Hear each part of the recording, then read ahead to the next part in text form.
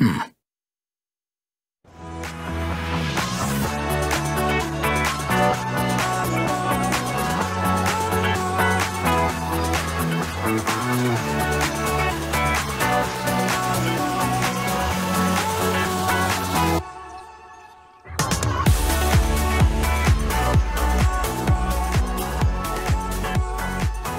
Hey, good morning, good day, good afternoon, and good evening, wherever you are, whenever you are. Welcome back to the channel, Birch Bay, episode two. Uh, it's really exciting. It's not your conventional episode two. You're probably looking at saying, Sculptor, wait a minute, how can you have an episode two when the city is almost done? Well, we took a little unconventional approach. First of all, I started streaming with my last episode, oh, last week, and I've never done it before.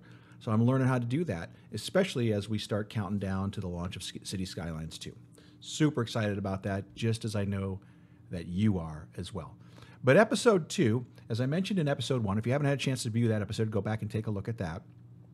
But episode two of Birch Bay, Birch Bay is a city that I created as kind of my wind down of City Skylines in preparation for City Skylines 2. It is, what did I call it? A swan song? A swan song of a build that takes you out of City Skylines and then on into City Skylines 2. And I built this city on the coastal flatlands map. So I'm going to zoom out a little bit here so you can get a good feel for what this map looks like. This is uh, a map that came with the Hotels and Retreats DLC. I love this map. I love this map, and for a variety of reasons. One of those reasons is that the map lends itself really, really well to new builders. And what I mean by that is you've got this wonderful coastline, and I dig a coastline map. As somebody who lives in the heartland of America, the, in the middle of the United States, in what some places that uh, the people on the coast would call it flyover country because it's the place that you fly over to get from one coast to the other coast. But we affectionately call it god's country. We love it. This this this this fruited plain that is nestled between the appalachian mountains and the rocky mountains so when I see a coastal map, I get excited because we don't have a lot of coasts in the center part of the United States. We have them down on the Gulf Coast, you know, the Gulf of Mexico, which is a beautiful coast, and then we also have some shorelines up in the Great Lakes. And if you've never been to the Great Lakes area, uh, it's it's just a fabulous, beautiful area. So I envision this map is to be probably on on one of the Great Lakes. Just kind of has that look and feel, that vibe. It doesn't seem like overly tropical. But one of the things I love about this map is you can see that you've got this wonderful shoreline that you can develop. And then you've got this river that meanders through it and follows along the shoreline, runs parallel to the shoreline. And I would imagine that as it trickles off the bottom of the map, it probably heads out to uh, the shore and, and, and spills out into this, uh, this body of water. And then it also forks right here. So it almost kind of gives you a Pittsburgh, Pennsylvania feel, uh, that, that what they call the confluence, I guess, of the Ohio. No, no, it's the Ohio that forms out of the. I, I can't remember. Your geography whiz whizzes out there. You can tell me what it is. But uh, I set up kind of a similar type of an area in terms of just putting some walking parks and the trams, uh, what we call light rails, uh, in my in my part of the world, run through there as well with a nice quay structure. And then you've also got some ferries that shuttle up and down the river. But I love this map because it sets itself up really nicely for for beginning builders. You've got lots of interesting geography and topography to work with, and it's also fairly flat in the grand scheme of things. So that makes it, you know, an, an easy map to build on if you were looking to build out larger uh, larger cities. Now, Birch Bay is a city of about 76,000 people, and it got its start over here. Uh, this is this is a starting square down in this area here. Got its start over here, and one of the things that I like to focus on when I'm building out my cities is I, I want to make sure that I've identified on the map where I wanted to have my downtown early on, and and we did that, and I chose this section over here because uh, over here because I thought it nestled in nicely between the river and the shore without being right on the shore. Uh, you know, it still has beautiful views. So I envision if you're sitting up in one of these skyscrapers and you're you're looking out, you've got quite the spectacular view. Well, I just, you know, let's take a look around. You've got a beautiful shoreline view, and you've got the the harbor, and uh, you look down south to the stadium district, and then the river continues along. So I think it's quite a spectacular view from downtown. And our downtown while it's obvious and prominent, it's not overwhelming to this city. Again, as I mentioned, six, 76,000 or so people. I wanted to, to have the look and feel of a mid-size uh, city. You know, um, it would be really easy to, to, to build up that downtown area into, into this massive wall of glass and steel, but I don't think this city is ready for that yet because it's a st- city that's still under evolution. So as you go back to our starting area here, which is was kind of down in here, the city has grown and evolved, and there are some nice low-lying residential areas, kind of the, the suburbs that are sitting out here. And then as you look back into town, you get the uh, obvious downtown and the steady build, if you will, of layers and heights as you work your way up closer to downtown. It just gets taller and taller until it peaks out with that beautiful green glass structure in the middle of, of downtown. Now, getting in and out of downtown, that has been uh, really a fun part of the build. Uh, you can see prominently running along the shore is what I call Chestnut Boulevard. And that is a major four lane road, but you can see that the light rails, the trams, run through the tra- Tram. That's a word I can't get used to. Tram. Got to call it tram. Tram. Tram. Tram. Okay, back to the light rail.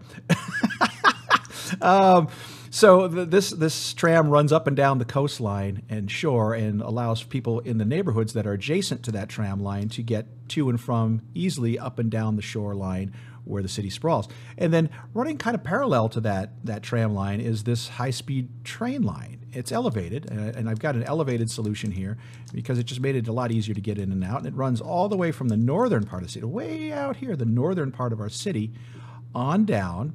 As I'll uh, go with the mouse here, it runs down along, sort of parallel to our tram line, and then it carves inland a little bit to cut around a zoo, and then ultimately ends up back rejoining the tram line in the downtown area just to the coastal side of downtown. And then eventually it meanders down along uh, and gets you to the stadium district, where it'll continue to feed the stadium district and maybe some points beyond. I'm not sure yet.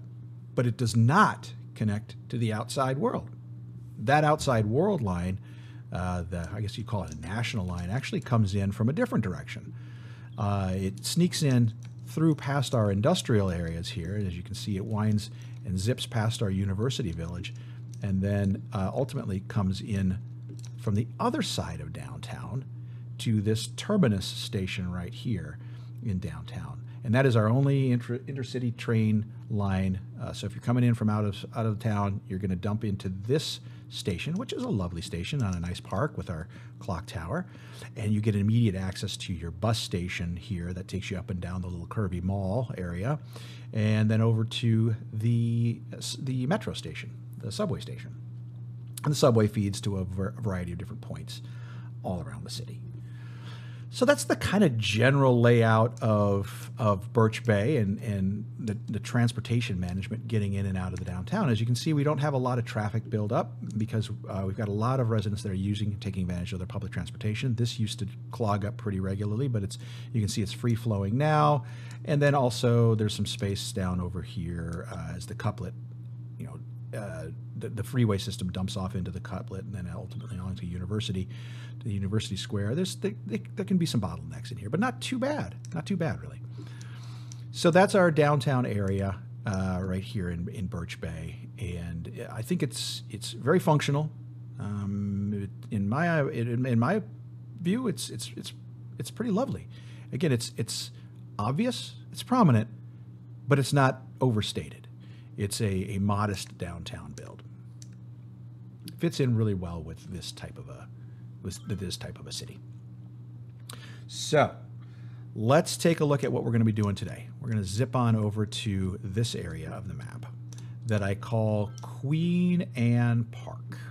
And um, I want to just kind of call out some details. The area that we're going to be focusing on is this spot that really runs from these rocks here along this area across this uh, arterial road, collector road, and then is bordered again by this little, I don't know, kind of like a semi couplet park area that extends out into the national seashore. You can see the, the sand paths, uh, walking trails all along the national seashore. So that's a, that's a really great little escape area. And what I envision with this space here is you see some ruins in here. I mean, some old ruins and houses. I, uh, in you know, kind of the way I'm looking at this is this is the these are some of the, maybe the original um, fishing shanties that would be still in that space. Um, I, I, you know, I personally, when I s- encounter this sort of stuff on a map, I like to save as much of it as I can. I like to repurpose it as, as much as I can. In fact, I have another area in, in a different part of the town here where we've got our, our big zoo, and I've got some of these buildings that I've preserved. For the purposes of this build, I'm probably going to take them out. I'm probably going to tear them out and, uh, you know, just kind of, yeah, let's just pretend they don't, pretend they don't exist. Uh, I'm sorry. I'm sorry.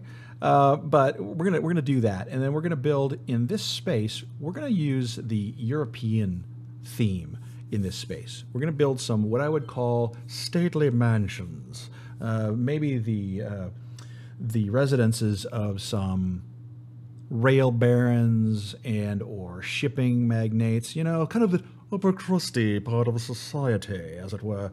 Um, that you know, this is an area, an old money kind of area, part of town where maybe the the, the original uh, wealthy people settled to have their you know their summer homes that are away from the hustle and bustle of say a, a huge metropolitan area into this a little bit more refined space and we'll, we'll create some larger backyards with some some high attention to detail in those yards uh, as well.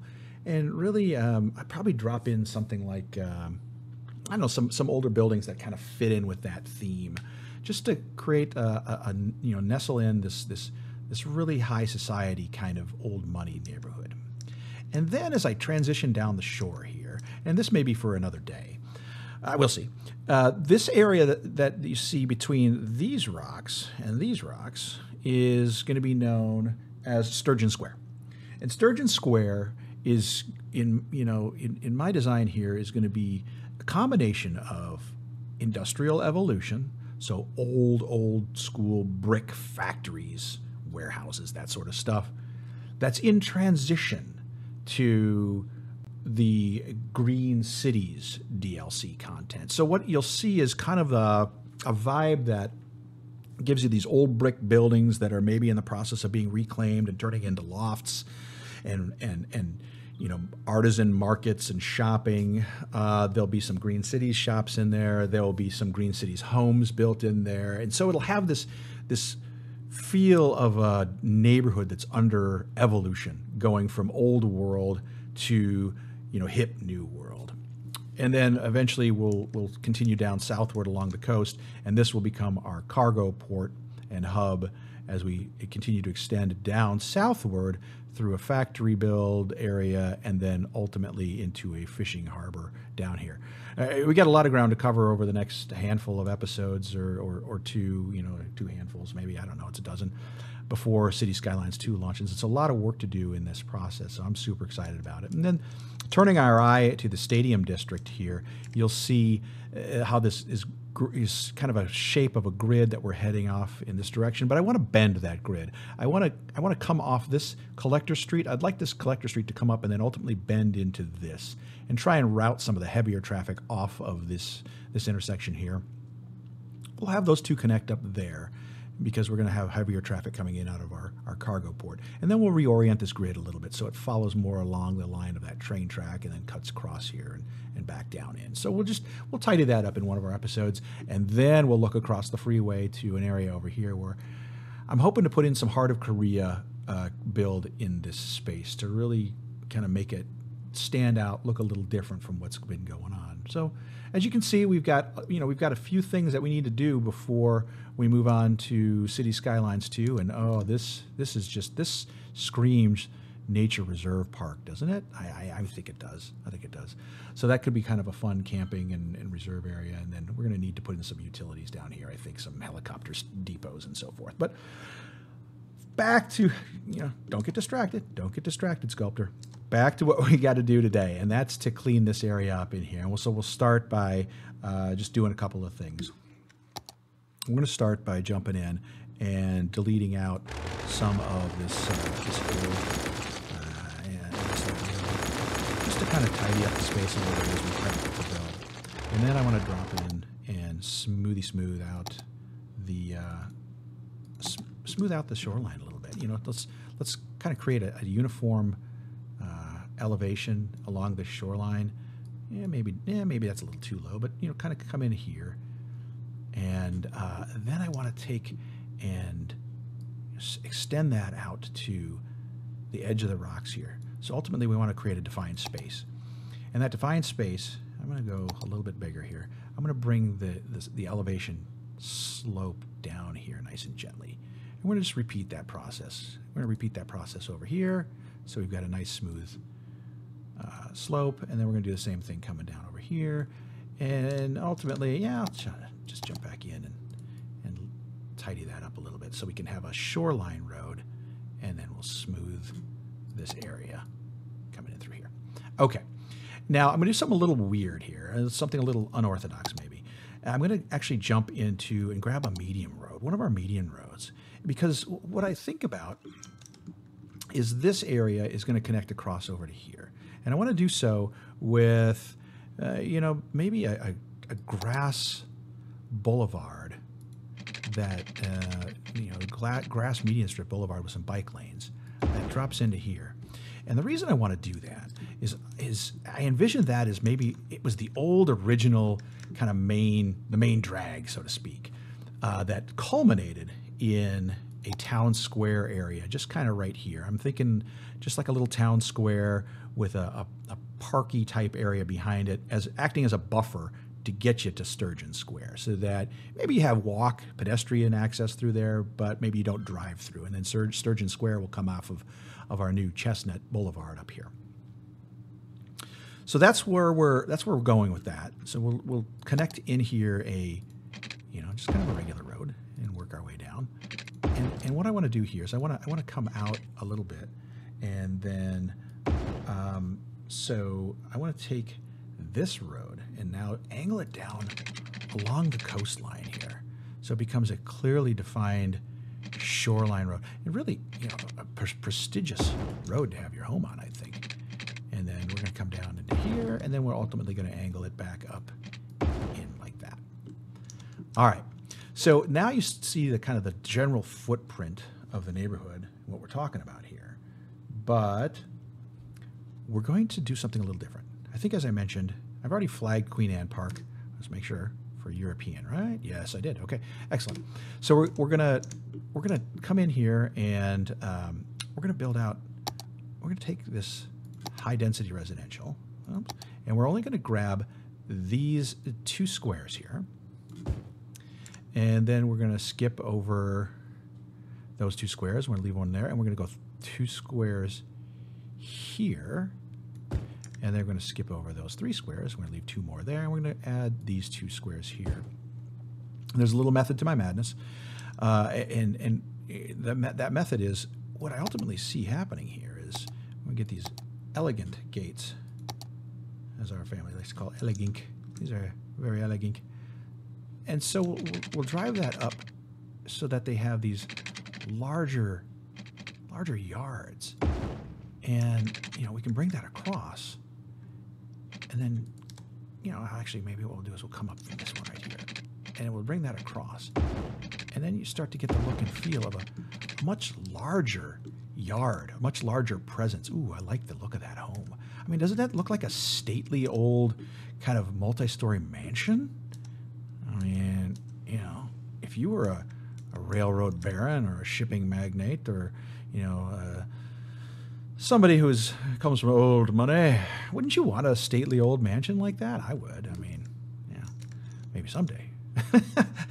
but uh, you, you, get the picture. Is that is that these are going to be really large in scope estates for this area that will kind of culminate in a uh, in you know I don't know maybe a, a city park, a city um, square.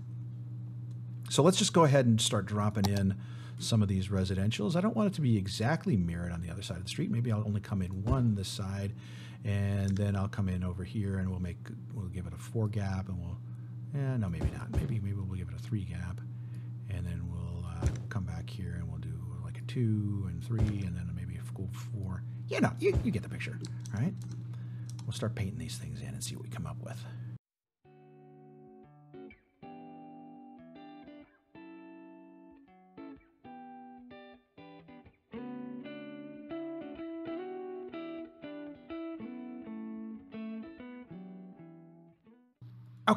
So now that we've done that, let's let's come on to our next step. Those that's we're gonna let that grow up a little bit. Okay, we've moved that back now. We're gonna come out of here.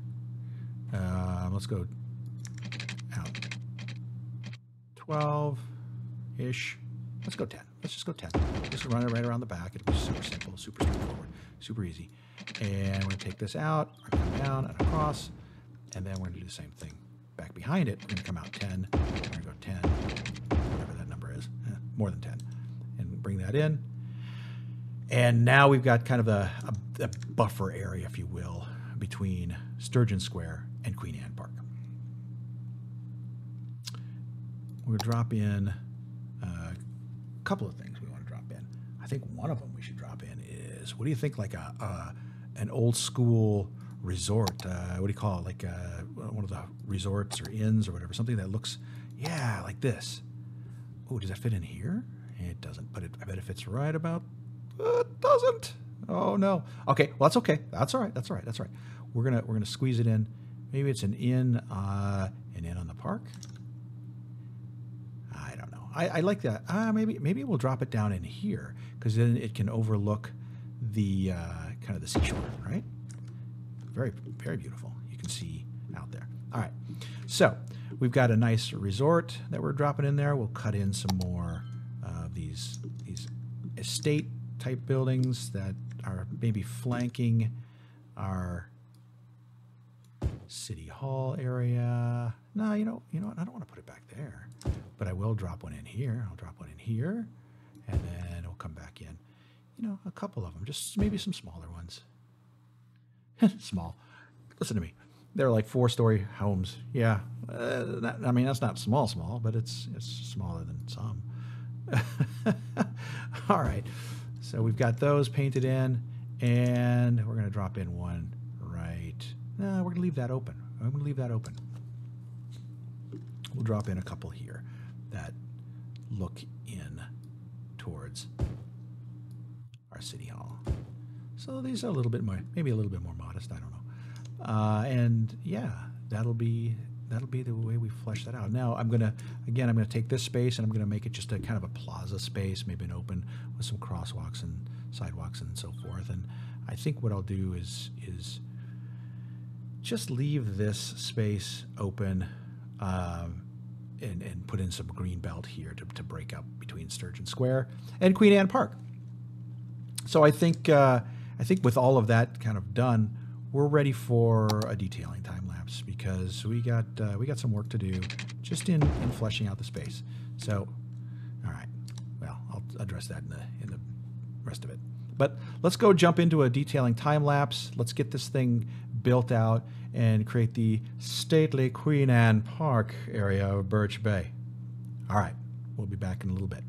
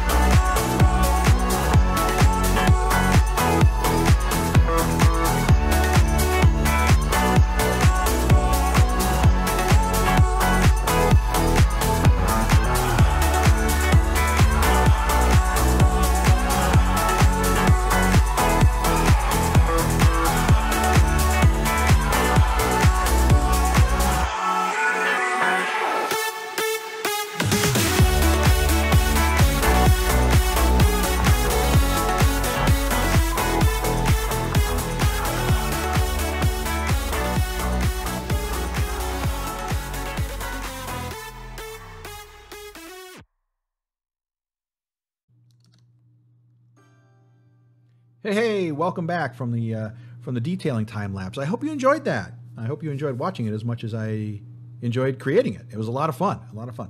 So you're looking at the finished product here now. This is Queen Anne uh, Park. And it's very, very different, very, very different than a lot of the rest of the build here in Birch Bay. And the intent here was to create, carve out a little section of the town that was exclusively reserved for the upper crust of our society, the, the, railroad barons, the shipping magnates, uh, the the you know the, the high-powered millionaire, dare I say, billionaires maybe of Birch Bay that could build their beautiful seaside resorts along the shore and uh, and and bring their families and or generations of families uh, to this this wonderful wonderful city. And so with that, um, you know, let's take a quick look. You can see the look and feel here. That you like larger yards, lot more detailing in the in the landscaping, etc.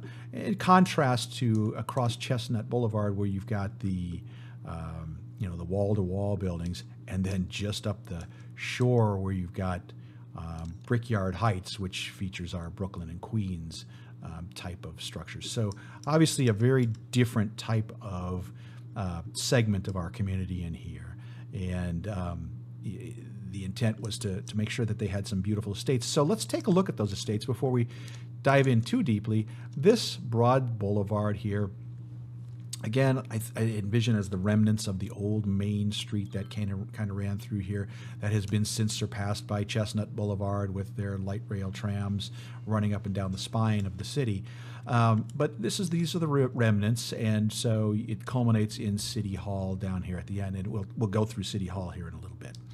But uh, our first our first home uh, yeah, I'm not going to take you through all of them, but I want to call out a few highlights. We, we jumped right in and we put some tiling in there, and we've got this little gravel path that takes you out to the gazebo, and it's a nice little oasis, if you will. Um, you, you, know, pretty close to Chestnut, but uh, just some elegant elements here.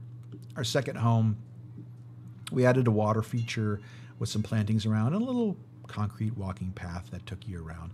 But then we tried to mix it up with some color and variation in the plantings up front. So as passerbys walked through, they thought this was a, an interesting, nice, clean and colorful look. And then our third uh, yard, we put some stone features in here, a water uh, fountain. We got some fruit trees. Fruit trees make their appearance in Birch Bay in the uh, Queen Anne Park neighborhood. And, um, you know, I just wanted to add some gravel in here just, just to make it a little bit, make it feel like it was you know, perhaps constructed 150, maybe 200 years ago, and it's been a while. Okay, so let's jump down to the next row of homes here. Uh, this use of tile was a little different. I wanted to use this tile as almost like um, kind of a limestone retaining wall sort of a look. It looks like limestone uh, uh, blocks to me. And so there was a, a sharper break off down here of the uh, I guess you kind of you call it um, the, the, topography. There's a little bit of a rough edge to it. So I wanted to mask that a little bit with some of this limestone, and it, it ends up being a really nice retaining wall uh, type of feature. As we moved uh, down the road, again another uh, gazebo with some stone, and uh, you've got a number of um, in this next yard rocks, different different colored plantings. You know, tried to have some variation of the plantings, but this one I thought was a lot of fun. This one we did a parquet pattern with our tiles, and then we had some planter boxes. I used planter boxes. Now that one looks like it's been eaten by the hill. I'm not not sure. Maybe we got a landslide. I, I don't know. Call in the engineers. Um, and we used planter boxes along the edge to frame up this parquet tile. And uh, you've got a water feature, a little picnic bench, and more more picnic bench and more of those planter boxes, ultimately coming around that corner and giving some definition with some uh, birch trees in Birch Bay. So uh, that was a that was a nice one, and, and, then we came in here and used more tile again, a little limestone look, and followed by the the mossy green. And and I want to call this out. It's actually two different elevations. So you're down here at uh, at the home level, and then you step up this path and you work your way up. And I've got a nice zoo fence that I used here is to, to call out this, this you know upper tier, if you will, of, uh, of backyard, all framed in nicely with some some hedges and some flowers. And then if you look back into the corner of the yard, a nice shade tree, some plantings, some some moss era ferns, I guess ferns uh, ground cover, just to to give it a softer look and feel. Now here's the next one is is a lot of fun. Uh, I thought you know why not give uh, put a couple of soccer nets, soccer goals. Uh, football goals, nets. For you guys that are in the UK, those are football football goals. we call them soccer, whatever you want to call them. They're fun. So I envision the kids going out in the backyard, kicking a ball around, and having a really nice time. And speaking of kids, the yard up above theirs, and we'll, we'll, we'll, get what I mean when I say above in just a second, has some playground equipment. So you've got littler kids here, maybe some teenage kids in here. And let's talk about up versus down. Let's get in real close here. So as you're on the shore, as you're down here, let's get right down here into this park.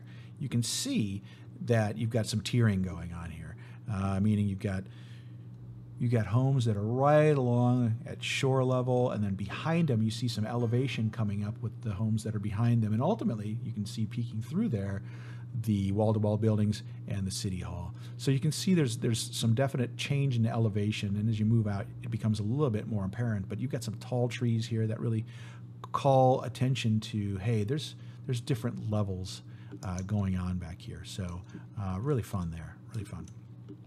This yard I really enjoyed as well because I wanted to give them a, uh, a side yard that had these beautiful water features, two, a pair of fountains, a couple of boulders, some plants, some trees, some color, and again, different heights, if you will, in the vegetation to kind of draw your eye up that hill. So, uh, you know, just, just something uh, of visual interest. Uh, meanwhile, on their front side lot, they have this beautiful round uh, set of plantings here, and then uh, really kind of um, framed it up nicely with some of these. Um, I think they're horse chestnut trees, if I recall. Let's move along further down the shore, and I want to call attention to this one. There's a rock retaining wall here because we had quite a bit of um, terrain tearing roughness up in there, so I wanted to mask that with the rock retaining wall. But then it lended it it lent itself very lended? What is that? Lent itself very well to having a, a side yard with tile and then planter boxes uh, a, a couple of sets of planter boxes with a hedge of roses running down the middle of it. So a nice clean look uh, very clear that you know one yard begins and the other yard ends. And then of course their side yard had uh, some additional flowers some bushy grasses, and uh, a larger tree, which I believe was a live oak, dropped in there. And then our last house coming down the uh, down the road at the end of the road really is is kind of giving way to these boulders and rocks and some of that leafy overgrowth, those ferns and ground cover. So what I wanted to do is tie in with that and, and, bring some some grasses along. That some of that ground cover is making its way through here, and then give them a pop of color with that beautiful flowering tree here and a couple of evergreens to just frame it up uh, a little bit. Now let's jump up to this to this yard. This one was fun as well. So side yard and backyard with some tiles in there. And then we came in with a circular gravel path, uh, a nice water feature in the center, some plantings, and then framed it up nicely with some bushes. So this just has this, this elegant look and feel, just finished and clean. Nestled into all of the chaos that we've been going through is, is the inn. We, we placed a historic old inn, and I really love that, the way that this one ties into the types of buildings that are in this area. It just has that old world look and feel, and, and uh, you know, so it, I think it ties in it ties in nicely. And then we tidied it up with this side yard, getting some, um, you know, some overgrowth plant, plantings, and then a tall palm tree to really, you know, draw your eye upward, but also some beautiful colors here and some softness. Okay, now let's get on up to the city hall area and um, really take a deep dive into that. So the city hall, you know, is at the end of that broad boulevard. And then we framed it up, just cleaned it up with some birches because you can't be the City Hall of Birch Bay without having birch trees. Am I right? Am I right? Okay, so we got birch trees. We've got some plantings that come along and frame that up nicely. And then on the, you know, on this side of it, I put a gravel walking path, and then added some some pops of color just to create some lightness. Because the city hall, eh, the way that it's structured and the way it's built is it can be a little bit of a heavy building. So I thought, you know, by adding in some pops of color and and and some softness, some curves, might just help to, I don't know, soften it up a little bit. I, I can't imagine it's still the city hall of Birch Bay with uh, the city growing as large, you know, as large as it is. Um, so maybe it's now it's a repurpose. Maybe it's on the historical register and it, you know, it can't be messed with. But um, it might be a building now that's uh, really kind of more of a museum, if you will, of of Birch Bay. And then out behind it, you see this plaza that we've created using um, some nice red brick pathways, uh, some some bright colors. Again, trying to make it nice and cheery and open and bright, uh, and and giving the city hall some some space, some space to breathe a little bit. And then I dropped in some zoo plazas, one, two, and then a park plaza here as as kind of be, the beginning to that that buffer, if you will, that buffer space between Queen Anne Park. As we'll zoom out here, as you can see, Queen Anne Park, and then what will soon become Sturgeon Square. And Sturgeon Square is going to have a very looking, different look and feel and vibe than Queen Anne Park. So I wanted to make sure that we created some sort of a green space in between the two, so it becomes really apparent which one's which.